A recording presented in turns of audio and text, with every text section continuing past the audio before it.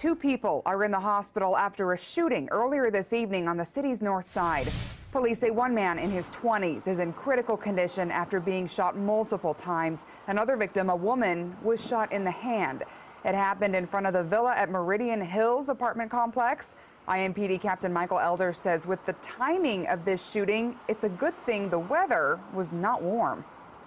Not only is it broad daylight, but you know, had it been a few degrees warmer, we'd have kids out, you know, out playing and stuff. And uh, bullets don't stop, uh, you know. So we've got a lot of people living in a very condensed area, and if they miss the target, the bullet keeps going. Captain Elder says police have talked with witnesses at the scene, but if you have any information, they want to hear from you. Call Crime Stoppers at 317 262 TIPS.